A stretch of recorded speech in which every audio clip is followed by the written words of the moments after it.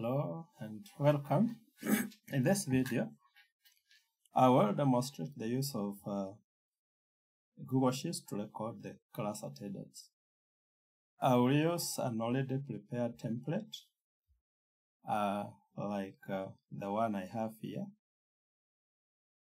So in this template, uh, we will have uh, 13 weeks, week 1 up to 13. Then we'll have the last column will be the percentage attendance for each student. So That will have the column here, the registration number. The student will write the registration number, then the name. Then uh, on this section here, they'll be recording whether they are present. And if they are not present, then the lecturer records the, the student as absent. So to access this template, I'll have provided the, the link. So you can simply click on this link or alternatively you can copy the link. You copy and then paste into your browser. You paste into your browser and press enter. Uh, the template should open.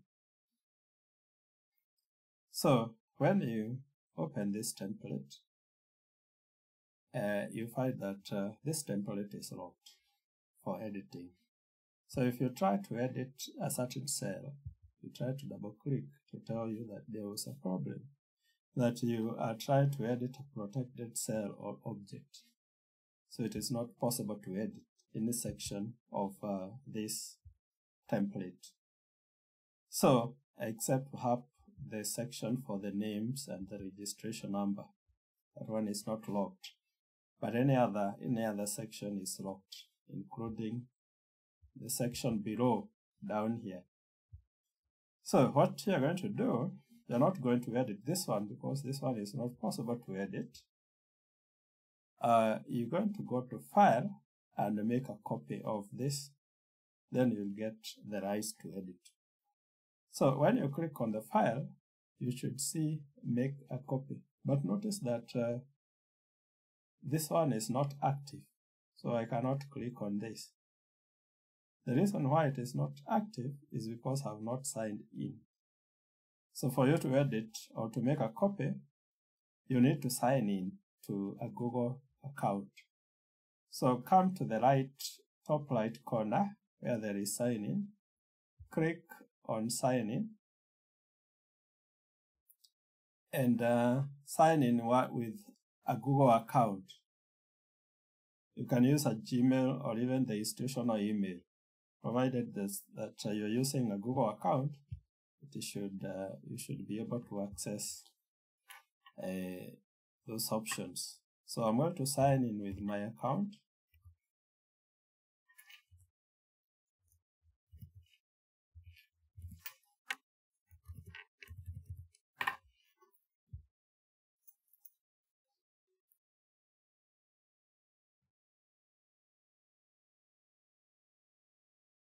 So once I sign in, then the sheet will open again. Again, if I try to edit, uh, you see that it is not possible to edit again, even after signing in. So I cannot edit this template. So what I'll do is that you should come to the file and uh, click on make a copy. So now you have, you choose the name here. So you can uh, retain the name, but uh, remove, maybe remove the copy and then you put the code of the units that you are teaching. So I'll write A, M, M, A, M, M, 108. Going to use capital here. AMM 108. Then there is a warning here that uh, some scripts and functionalities will also be copied. So don't review that section. Let it remain the way it is. So once, once you type the name of uh, the sheet here, just click on make a copy down here. and you'll get uh, another sheet now. Another class attendance now. For this one, this one is not, this one is now possible for you to edit. When you click on uh, any cell, you should be able to edit. You can type here anything you want. You can type in a section of this, of this one, even down here. Now, uh, so when what you can do is that you can type now the you, the name of the code here, code, the unit code, sorry, AMM 108. Then where there is the unit name, you can type the name of the unit that you are teaching. So I'll type mathematics. Uh, then you can type the degree program, uh, the year and the semester, the year of study and the semester.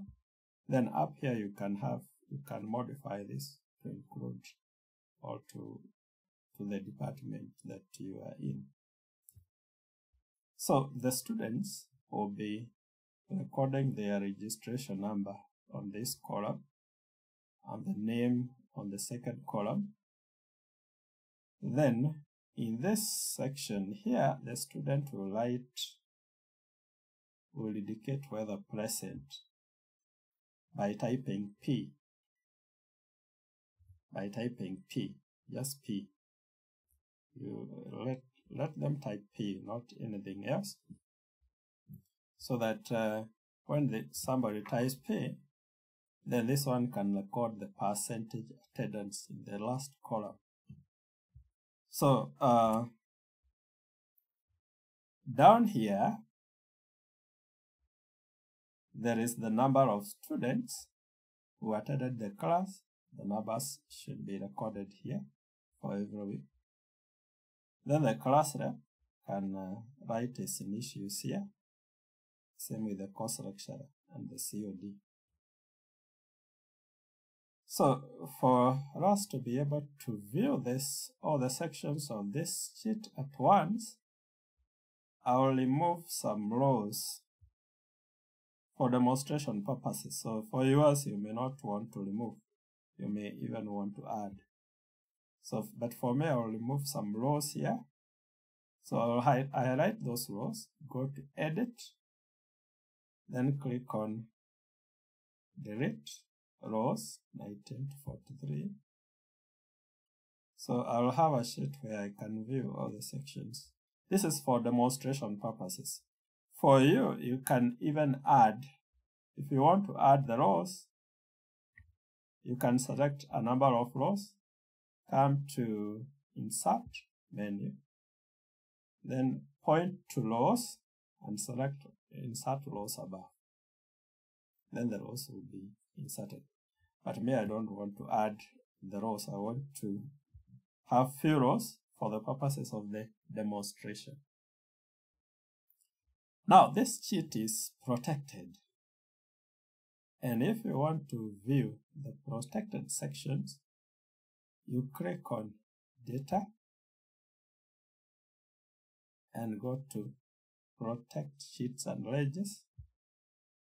Then you should be able to see on the right here the sections which are uh, protected. There is the cross attendance, COD, and stroke class rep section, non-editable region. And then the open class attendance, then the student details. So the student details are, are the, the registration number and the name. So these are the two columns, column B and column C.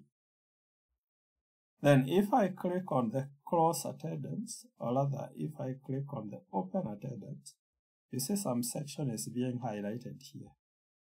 This is the region which is locked by that uh, by by by by this ledge.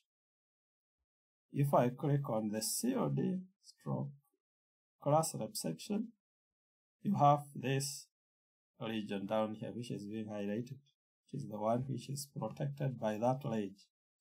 So the COD should be able to edit here the class rep should also be able to edit to like the names, the rather not the name, but maybe the initials and so on. So how to do that is included in the documentation. So now in this one, I want to demonstrate how to open the class, how to open the attendance, and how to close it for the student. So let me use this one to 75% or maybe I may, can use 80%.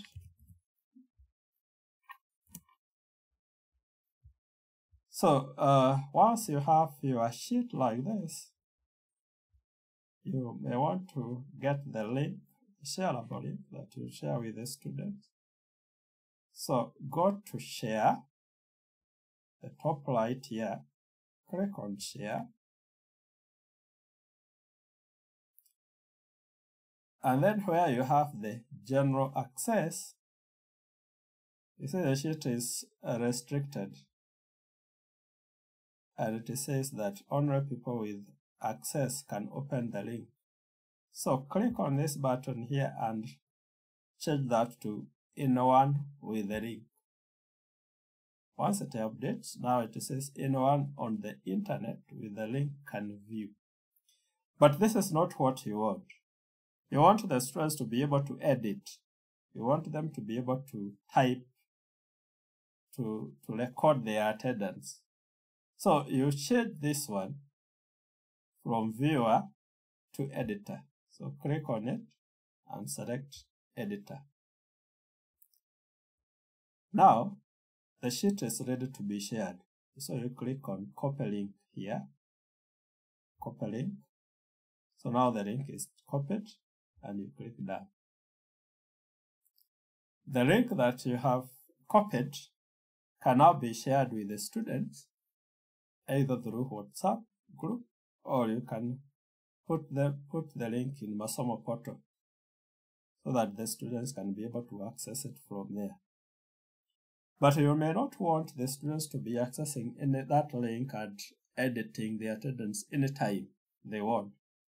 You want it to be accessible, rather the link can still be accessible, but you want the students to be able to type to record the to record their attendance only when the class is ongoing, not any other time. So, if I click on, uh, if I now go to my browser and paste the link that I have copied and uh, press enter, assuming now you have sent to the student, the students will go to his browser and uh, paste the link or even click on the link, the link will open and the students will be able to see their attendance. the students will be able to see their attendance like we have here. So what will happen is that, uh,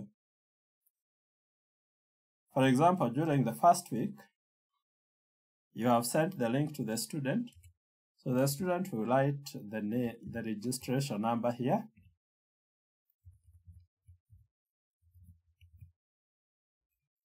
And then the name.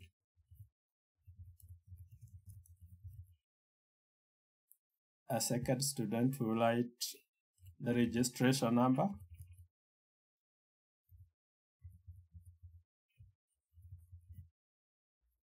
And the name again.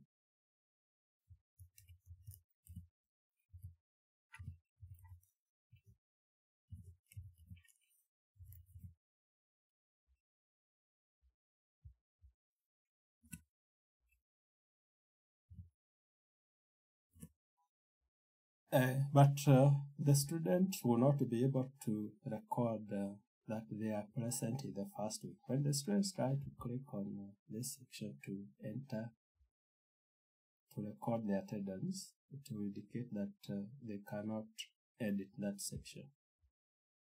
The second student will also try to do that, but it will not be possible. So, although the students can still write their name while before the lesson starts, if you had sent the attendance, they will not be able to record uh, the attendance here. Their attendance, they will not be able to register their attendance. So what will happen is that uh, during the lesson, you start teaching. Maybe you teach for one hour or one and a half. Give them a break, maybe of five minutes or ten, and you tell them during this time, you record the attendance. So once you give them that break to record the attendance, you will also come to the sheet and now you want to open the attendance for the student to record. So you'll click on open the attendance and you see that uh, this region here is uh, locked for editing. The highlighted section here is locked for editing because you want to open column E. And if you look at the range here, the range which is uh, closed for editing, it starts from the column E, E9, column E. Because you want to open column E, you change this from E to F so that uh, the column E is not locked. So you change here from E and you type F, then click Done.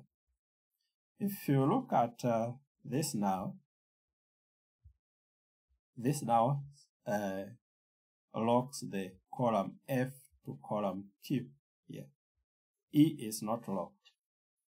So when the student now comes to class and uh, you have told them to record their attendance, they will now be able to record their attendance for that week. Assuming that those two students were the ones who were present that week, then they will record present, present. The attendance will count the number of students here. There were two for that week. Then the percentage attendance, the first student 7.69%, the second 7.69%. That is uh, one out of 13. After that session for marking the attendance is over, you go back here to your sheet and uh, click on uh, now close the attendance. You want to close that cell from editing. So you click on close. And this one now, you want to close E. Close the close attendance range is D10 to D18. Because you want to include E, now you'll come where there is D18 and remove D and type E.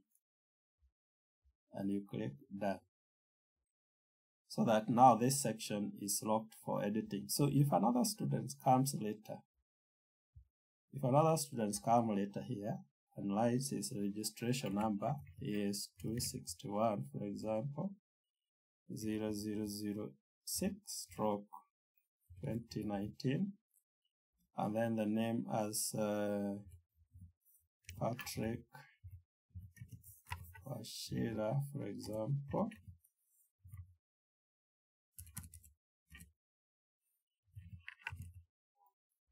and tries to record that he is present, then the sheet will not accept that. But uh, you yourself can be able to record that uh, this student was absent. So you can come here and type absent. So you yourself can type absent and uh, the percentage attendance will still be zero here. The number of students present is still two because this one is absent. So you record that. So that week we assume is over. Then the next week, again, you do the same. The student, uh, you start the lesson teach maybe for about one hour or maybe 30 minutes or maybe one and a half hours depending on how when you decide to tell them to record the attendance. Or give them a break of five minutes and you tell them to mark the attendance during that time. When you do that uh, then you come to open the attendance. Now you want to open column F so that the students can record So this one, you change this from F, where there is the, the range here. You change that from F to G, so that you open F and click on Done. So when you do that, then the student will be able to record. If the student is present, he will record P. The next one, assuming is present, will record P. And now, assuming the that student is also present, we will record P. You see that now, in this week, there are three students. The first week, there were two. The percentage attendance here for the first student is 15.38. The second student is 15.38. The third student, because he has attended only once, is 7.69%. Now, uh, then, after the session for marking the attendance is over, you'll come back to your sheet and click on close the attendance. Once you click on that, you want to close the column F, so you come where there is E and remove, delete E and type F. So you click done. That row, that column is now closed for editing.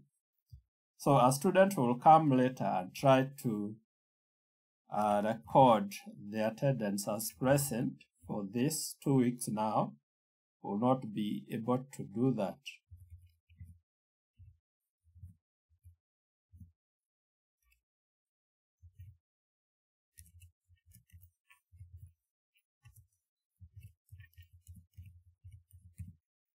So a student comes uh, later, tries to modify to change here, it is not possible to record the first one. It is not possible to record the second. So he'll, the students will have to wait until the third week when you open the third week for him or her to record the attendance. Then you yourself will be able to type absent for this student. When the student has indicated this name, you can type absent in the first week, absent in the second week. Then in the third week, when you open the attendance, the students can be able to record the uh, uh, attendance there. So every week you can be doing that. You first you open. Once the student record the attendance, you close that section. You open first, you let them record, then close. So now every time the student has recorded present, the percentage attendance will update and the number of students present will also update here. So basically that is how you record uh, the attendance. Now, another thing which is important to note here is that uh, a student coming on the fourth week or on the third week and realizing that uh, if a, a, student may come after the, the third the second week, for example, say you have AS 261 stroke 0007 stroke 2018 uh, Joseph uh, Wambua, for example, a student may realize that uh, he is not able to record the attendance on the first week, is not able to record the, first, the attendance on the second week, and therefore realize that probably now he has a problem uh, because the, it will be observed that he never attended the classes. So he can come here and note that uh, the first student or the second student was present the first week and present the second week and therefore decide to change this registration number to his the name and then the student is now seen to be present during the first and the second week. Then the student who was there is now replaced. So you may not want this to happen. That a student may come later and remove the name of one of the students and change to haze. So you may not want to, that to happen. So we have put a control for that.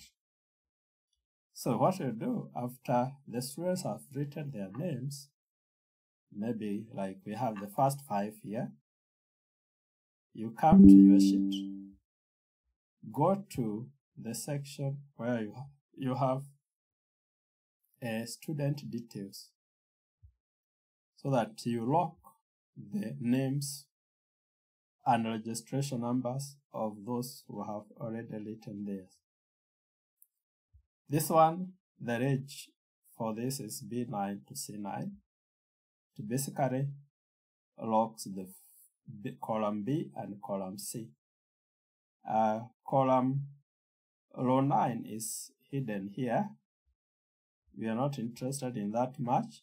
So we want to change, we want to lock from B9 all the way to C14 so that we leave the section below here so that any other student coming later can still be able to write the name. So I'm going to change from C9 to C14, which is this row. So I change to C, where there is C9, I'll write 14 and click on done. So in this case, now I have locked uh, the section with the names. So a student coming to try and uh, edit this one of the registration numbers or the name to his will not be able to do that. Any student coming later can only write their name down here. They can only write their name down here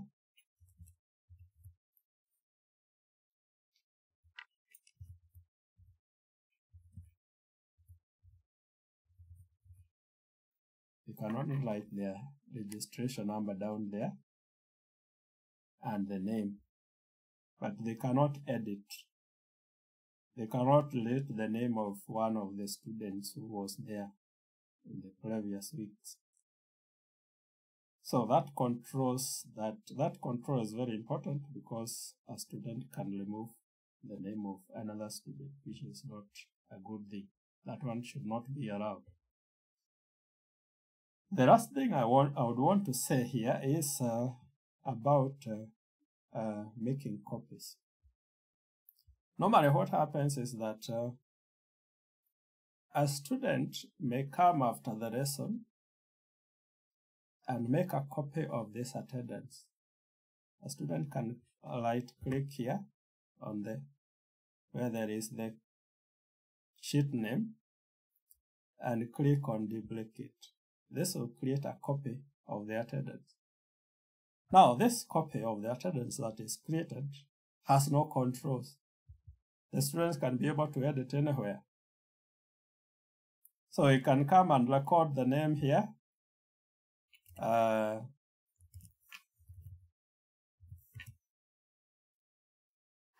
you can come and record the name and now start writing present, present, present, anywhere. So even later after the lesson. So we may not want this to happen. And uh, some students will want to confuse this attendance by creating very many copies. Sometimes you may open and find that some students have created uh, very many copies of this.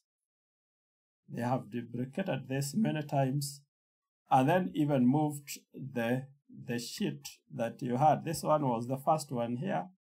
They can decide to move it to another section so that probably even when you open, you are not you find it difficult accessing that because it has been moved very far. Now, this is one thing that you may not want to happen because uh, students can come later claiming that uh, they were there in the class, but they were confused. They did not know which one was the correct uh, sheet. So what you do is that uh, we have put a control for this, uh, but because it is not possible to lock, to lock uh, this duplication, it's not possible to lock Google Sheets from being duplicated. One can always duplicate. So what we ensure is that uh, any student who comes to duplicate the sheet after the lesson, the duplicate will be deleted whenever you open that sheet next time for editing.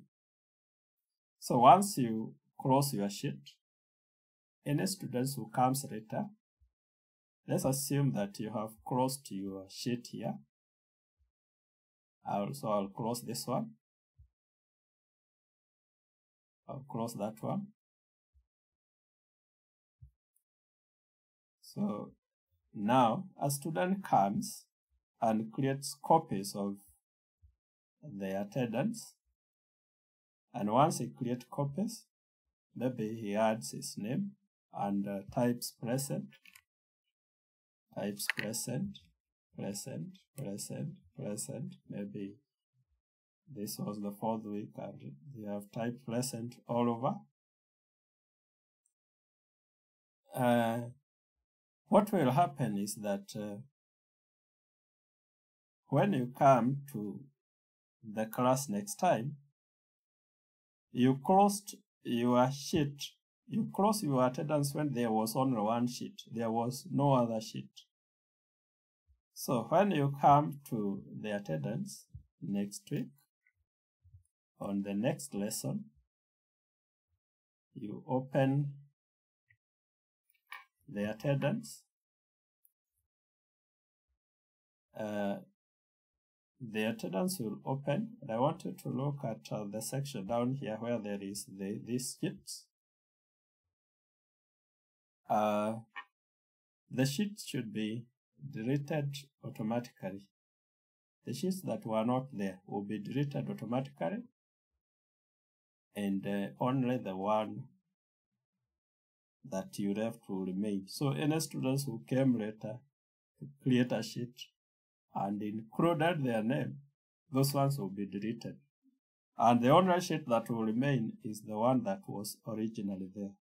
So that not, no students can come and record their attendance later in a duplicate copy and then come claiming that they were there, only that they were not able to know which one was the correct uh, sheet. So in this case, those ones we have included a script to delete those sheets every time you open. So ensure that uh, when you when the class is over or when the time for marking the attendance is over, don't leave the sheet open. Ensure that you close the sheet. When the time for marking the attendance is over, just close the sheet so that anybody who comes to duplicate later after you have closed, those sheets that they have duplicated will be deleted and you'll remain with only the sheet that you, only the original sheet that you created and you marked and was marked during the time that you had uh, allowed them to, to mark. So that nobody comes later to mark the sheet, to mark themselves present in a duplicate sheet. So basically, these are the controls that we have put.